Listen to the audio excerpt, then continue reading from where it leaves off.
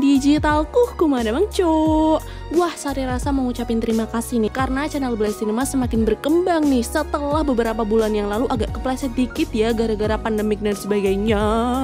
Pokoknya wah Mimin ngucapin terima kasih banyak lah Dan untuk menghibur para penonton hari ini Sari rasa akan mereka film yang berjudul Jim Button and Lucas the Engine Driver rilisan tahun 2018 Gak usah basa-basi intinya nikmatin aja sampai akhir dan langsung aja kita masuk ke alur filmnya. Let's go!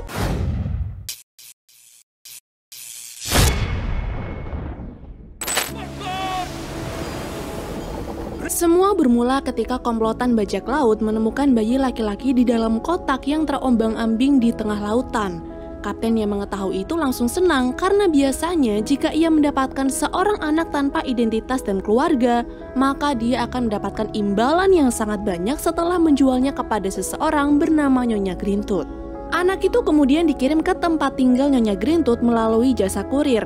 Tapi karena alamat yang ada kurang jelas, si kurir akhirnya mengantarkan ke alamat yang salah, yaitu ke Pulau Morolen, sebuah pulau kecil yang hanya memiliki empat penduduk. Melihat paket nyasar itu berisi bayi laki-laki, empat penduduk yang terdiri dari Raja Alfon, penasihat Sliver, penjaga toko Nyonya Was, dan seorang masinis bernama Lukas itu pun cukup terkejut dan juga kasihan. Dan karena si anak ini tidak punya alamat lain untuk dituju, akhirnya Raja pun menyuruh Nyonya Was untuk merawat anak tersebut dan memberikannya nama Jim Button. Eh, Jim? Ya? Selama bertahun-tahun Jim pun tumbuh sehat di tengah keluarga yang hangat itu. Tapi karena setiap harinya dia selalu diajak untuk berkeliling menggunakan kereta Lukas yang diberi nama Emma ini, Jim jauh lebih akrab dengan masinis tersebut. Suatu hari, ketika Jim akan kembali naik kereta bersama Lukas, penasihat Sliver datang untuk laundry baju di tokonya Nyonya Was. Alhasil Jim pun harus meletakkan tumpukan baju itu dulu di gudang sesuai perintah dari sang ibu. Dan dari situlah Jim akhirnya mengetahui dari mana dirinya berasal dengan tidak sengaja menjatuhkan sebuah kotak yang dulu membawanya dan juga foto-foto ketika dia baru sampai di pulau kecil itu. Karena belum tahu pasti dari mana dirinya berasal dan juga baru menyadari kalau pulau itu tidak ada orang yang memiliki kulit gelap seperti dirinya, Jim pun memberanikan diri untuk bertanya kepada Lukas tapi sayangnya belum sempat Lukas menjelaskan tiba-tiba Raja menyuruh Lukas untuk datang ke istana. Ternyata tujuan Raja menyuruh Lukas untuk datang adalah karena dia ingin membicarakan Pulau Morolen yang semakin sempit karena kebanyakan penduduk dan untuk mengurangi jumlah itu maka dengan terpaksa Emma si kereta lokomotif harus meninggalkan pulau ini. Dan untuk menghargai semua jasanya, Raja akan memberikan sebuah penghargaan yaitu medali Pulau Morolen. Mendengar keputusan itu, Lukas langsung menolak dengan alasan Emma bukan cuma kereta biasa, tapi dia sudah menganggapnya sebagai keluarga dan tidak akan pernah membiarkan keretanya itu untuk pergi dari Pulau Moroland. Di sini, Raja tidak punya pilihan lain. Dia tahu kalau Lukas pasti tidak terima, tapi semua ini Raja lakukan agar nanti jika Jim sudah besar dan memiliki keluarganya sendiri, dia masih punya tempat untuk tinggal. Merasa kesal dengan keputusan raja yang menurutnya semena-mena itu, Lukas langsung menceritakannya kepada Nyonya Was. Tapi karena alasannya agar Jim masih bisa tinggal di Pulau Morolen ketika dia sudah dewasa nanti, akhirnya Lukas pun menuruti perintah itu, tapi bukan hanya Emma yang pergi, melainkan dia juga akan ikut meninggalkan pulau tersebut. Tidak disangka-sangka perbincangan antara Nyonya Was dan juga Lukas didengar oleh Jim. Jim yang merasa bersalah pun menghampiri Lukas dan memberitahu niatnya untuk ikut keluar dari pulau itu. Awalnya Lukas menolak karena perjalanan yang akan dia tempuh cukup berbahaya. Tapi karena Jim terus membujuknya gara-gara ingin mencari tahu dari mana dirinya berasal, alhasil Lukas pun menyetujui permintaan tersebut. Di malam harinya tepat pukul 12 malam, Jim diam-diam keluar dari rumah dan mengecup Nyonya Was yang sedang tertidur sebagai ucapan perpisahan. Kemudian dia langsung menuju ke dermaga di mana Lukas sudah memodifikasi Emma agar bisa mengapung. Dan kini perjalanan ke antah berantah pun dimulai.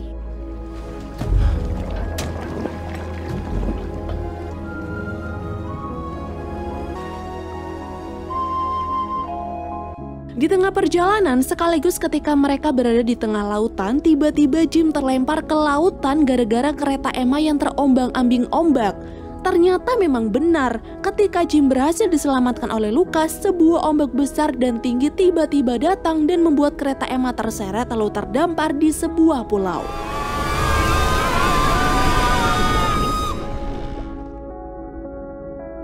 Ketika pagi tiba dan keduanya sadar dari pingsan, Lukas mengetahui kalau ternyata pulau itu adalah Pulau Mandala, sebuah kekaisaran legendaris.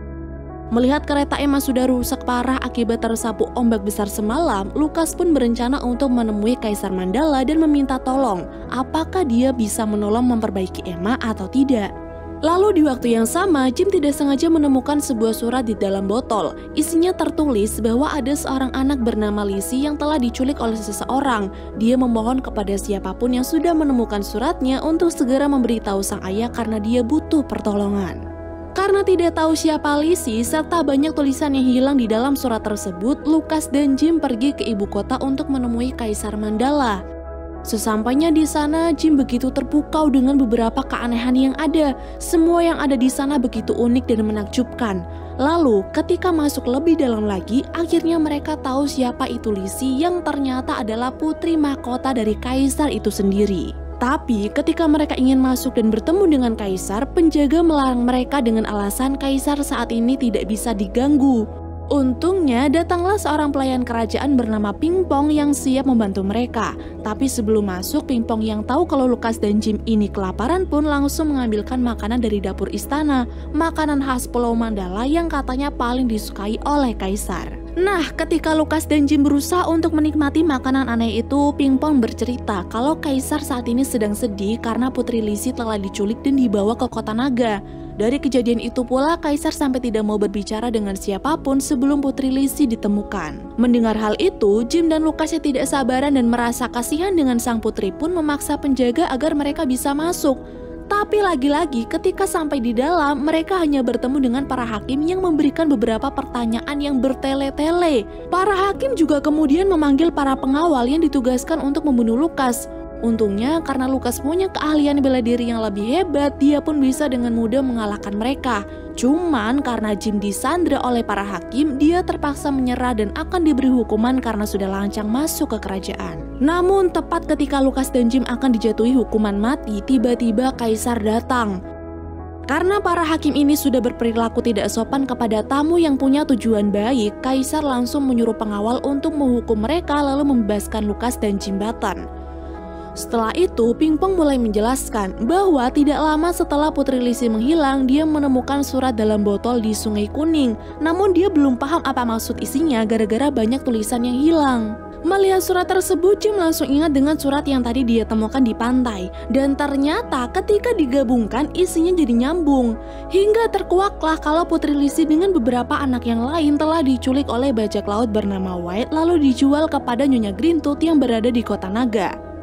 Namun karena masih belum tahu siapa itu Nyonya Grintut dan bagaimana mereka bisa sampai ke kota naga, Pingpong langsung memanggil orang-orang paling bijaksana untuk membantu. Pingpong berkata, semua kearifan perpustakaan kerajaan tersimpan di benak orang-orang itu. Jadi apa pun pertanyaan yang ada, mereka pasti bisa memberikan jawabannya. Dan kata mereka, untuk bisa sampai di kota naga, Lukas dan Jim harus melewati hutan seribu keajaiban lalu pegunungan bergaris merah putih, kemudian lembah senja yang di mana banyak suara-suara mengerikan dan masih banyak rintangan-rintangan sampai kemudian berakhir di kota naga.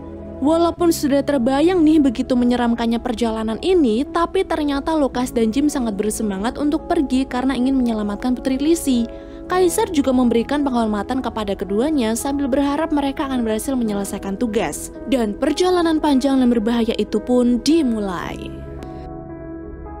Setelah keluar gerbang Mandala dan melewati hutan seribu keajaiban, mereka berdua harus melewati gunung bergaris merah putih. Dan untuk melewatinya hanya ada satu jalur sempit yang diberi nama Lembah Senja. Di saat mereka sampai di lembah senja yang katanya akan ada suara-suara menakutkan, ternyata suara itu hanyalah gema dari suara mereka sendiri. Tapi di sinilah masalahnya. Gara-gara gema itu, dinding lembah perlahan menjadi runtuh. Alhasil, karena tidak mau tertimbun di tempat itu, Lukas pun terpaksa menekan tombol darurat sehingga kereta Emma bisa melaju lebih cepat. Mereka memang berhasil melewati lembah senja itu, tapi akibat yang ditimbulkan, piston pada kereta tersebut rusak karena dipaksa melaju cepat. Di sini Lukas bingung harus berbuat apa karena untuk memperbaiki kereta Emma dia harus mengosongkan tangki airnya dulu. Tapi jika dia melakukan itu di lokasi yang mana tidak ada air sedikit pun, maka sudah dipastikan mereka tidak akan pernah bisa melanjutkan perjalanan. Namun karena ada cara kedua di mana seseorang dengan tubuh kecil harus masuk ke tangki air itu lalu mengendurkan skrup agar Lukas bisa memasang pistonnya dari bawah, Jim langsung maju dan akan melakukan hal tersebut. Saat Jim mulai masuk ke tangki air, Lukas terlihat sangat khawatir. Tapi ternyata Jim mampu menyelesaikan tugasnya dengan baik sehingga kereta itu pun berhasil diperbaiki. Gak cerita, setelah mereka kembali melanjutkan perjalanan, kereta Emma tiba-tiba berhenti karena tangki air mulai mengering. Mereka yang kehausan juga mulai mengalami fata morgana dan hampir terlena. Tapi ketika raksasa kakek-kakek muncul dan membuat Jim ketakutan, Lukas merasa jika itu bukan Fata Morgana seperti yang sebelumnya. Ternyata memang benar, kakek itu bernama kakek Turtur. Dia memiliki kelainan menjadi raksasa tiruan. Jika manusia pada umumnya ketika berjalan menjauh dia akan mengecil, si kakek ini beda cok. Ketika dia berjalan menjauh dia semakin besar. Aneh emang, tapi ya sudahlah namanya juga film. Lalu kabar baiknya, si kakek baik hati ini mengajak Lukas dan Jim untuk mampir ke oasisnya. Di tempat itu juga dia punya persediaan air yang cukup banyak, yang nanti bisa membantu Emma kembali berfungsi.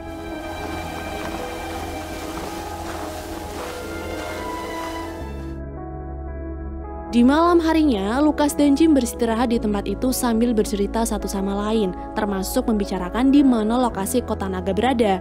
Menurut info dari kakek Turtur, kota itu berada di Sorolen. Merasa ada yang aneh, Jim pun langsung mengeluarkan perangko yang dia ambil dari kotak miliknya dulu. Dan benar, tulisannya itu Sorolen. Tapi dulu kurir mungkin salah baca sampai nyasar ke Pulau Morolen. Kakek Tur kemudian memberitahu untuk sampai di kota Naga mereka harus melalui wilayah Karang Hitam yang cukup berbahaya. Tapi karena Lukas dan Jim harus tetap melanjutkan perjalanan tersebut, kakek Tur pun akan mengantar mereka menuju wilayah Karang Hitam di keesokan harinya.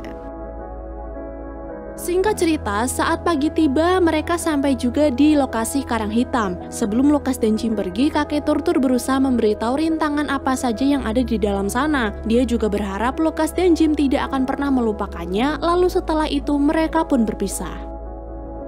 Ternyata wilayah Karang Hitam ini memang benar-benar gelap. Kegelapannya saja juga sanggup membekukan apa pun. Awalnya kereta Emma masih sanggup melaju, tapi karena kegelapan yang ada dia jadi kehilangan arah dan hampir jatuh. Ditambah persediaan batu bara yang akan habis membuat Lukas tidak tahu harus berbuat apa. Di sini Jim dan Lucas hanya bisa pasrah menunggu kematian mereka karena jika mereka keluar untuk menolong Emma itu artinya mereka juga bunuh diri langsung karena udara yang sangat dingin. Keduanya kemudian saling bercerita mengenai kehidupan di Moroland yang sangat dirindukan. Tapi ketika Jim melihat Emma bersiul, tiba-tiba sebuah ide pun muncul di pikirannya. Jim lalu terus menyuruh Emma untuk bersiul karena ternyata uap yang dikeluarkan akan menjadi salju dan salju-salju itu ternyata bisa membuat jalanan kembali terlihat. Akhirnya mereka pun bisa kembali melanjutkan perjalanan, memasuki terowongan yang disebut sebagai mulut kematian sampai berhasil keluar dari sana. Kini sampailah mereka di tanah seribu gunung berapi, tapi karena banyak gunung yang meletus, Jim dan Lukas masuk ke salah satu lubang untuk berlindung lalu bertemu dengan naga berkepala kuda Nil bernama Nepomuk. Sebenarnya Nepomuk sudah berusaha menakut-nakuti Jim dan Lukas, tapi karena mereka tidak merasa takut, Nepomuk pun menjelaskan kalau dirinya adalah satu-satunya naga yang tidak diperbolehkan masuk ke kota naga gara-gara bentuknya yang aneh. Selain itu, Nepomuk juga tidak bisa membakar tungku berapinya sendiri. Sebagai seorang ahli mesin, Lukas pun mencoba untuk memperbaiki tungku berapi itu dan ternyata masalahnya cuma terjadi sumbatan saja. Tapi Nepomuk yang merasa berhutang jasa langsung berterima kasih dan akan memberikan apa saja yang sedang dibutuhkan oleh Lukas dan juga Jim. Tidak basa-basi, Lukas langsung meminta sedikit batu bara milik Nepomuk karena persediaannya sudah habis. Selain itu, Jim juga bertanya bagaimana caranya untuk bisa masuk ke kota naga. Kalau untuk batu bara, Nepomuk langsung mempersilahkan Lukas untuk mengambilnya. Tapi kalau untuk memberitahu caranya masuk ke kota naga, Nepomuk rada ragu. Namun karena dia harus balas budi, Nepomuk pun akhirnya memberitahu bahwa caranya masuk ke sana mereka harus seperti naga sejati yang bisa mengeluarkan asap atau api dari mulut dan memiliki penampilan yang sangat menyeramkan. Karena yang bisa melakukan semua itu hanya Emma, akhirnya Jim dan Lucas mulai mendandani kereta itu menjadi semirip mungkin seperti naga sejati. Lalu setelahnya berpamitan dengan Nepomuk karena perjalanan akan kembali dilanjutkan.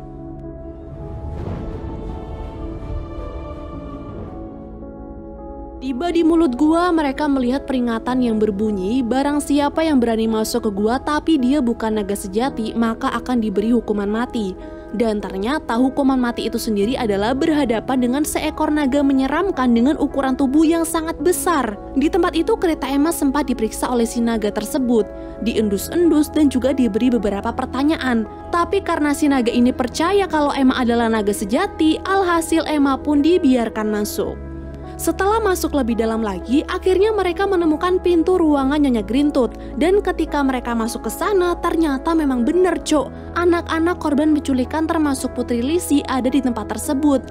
Lalu Nyonya Grintut yang notabene adalah seekor naga menyeramkan juga sedang berperan sebagai seorang guru yang kejam bagi anak-anak itu. Di sana, karena anak-anak tidak ada yang bisa menjawab pertanyaannya termasuk Putri Lisi, Nyonya Grintut pun marah dan hampir memberikan mereka hukuman. Tapi semua itu langsung dihentikan oleh Jim yang tiba-tiba muncul untuk memberikan pertolongan. Tindakan yang dilakukan Jim sebenarnya sangat ceroboh dan berbahaya, tapi dia sengaja melakukan itu hanya untuk mengalihkan perhatiannya Nyonya Grintut. Dia mengambil kunci borgol ketika mendapatkan kesempatan lalu memberikannya kepada Putri Lisi agar dia bisa membebaskan dirinya dan anak-anak yang lain. Di saat situasi sudah sangat mencekam dan Jim terpojok oleh Nyonya Grintut, tiba-tiba Lukas datang memberikan bantuannya dengan menaiki kereta Emma dan menabrak Nyonya Grintut dari belakang. Naga menyeramkan itu juga kemudian pingsan karena papan batu terjatuh lalu menimpa kepalanya. Setelah berhasil menyelamatkan anak-anak, Lukas berniat membawa Nyonya Grintut ke hadapan Kaisar. Dia mengikat naga itu menggunakan rantai ke kereta Emma dan akan keluar dari tempat itu lewat Sungai Kuning yang alirannya bisa membawa mereka ke Pulau Mandala.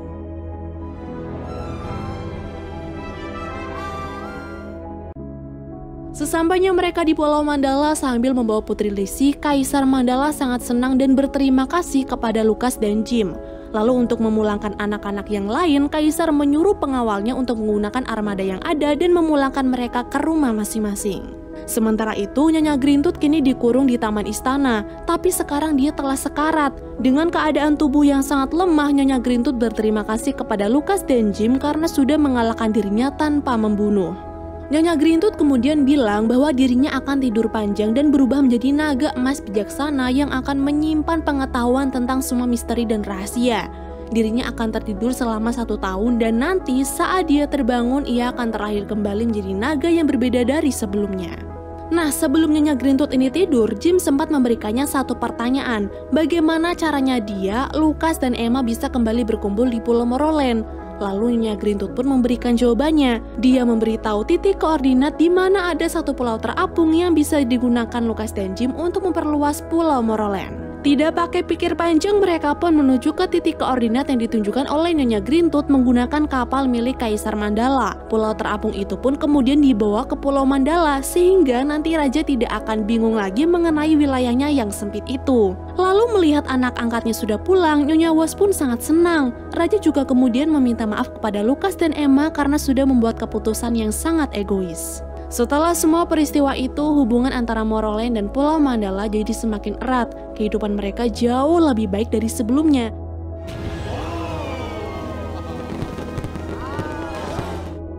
Jim juga kemudian diberi kereta mini oleh Lukas yang mirip dengan Emma, lalu dia beri nama Molly. Kemudian karena Lukas masih bertanya-tanya, Jim pun memberitahu alasannya ingin pulang saja ke Pulau Moroland daripada mencari tahu asal muasalnya. Jadi menurut Jim, mencari tempat dirinya berasal itu tidak penting karena Moroland adalah rumah baginya dan semua orang yang ada di pulau itu adalah keluarga yang sesungguhnya. Lalu film pun berakhir.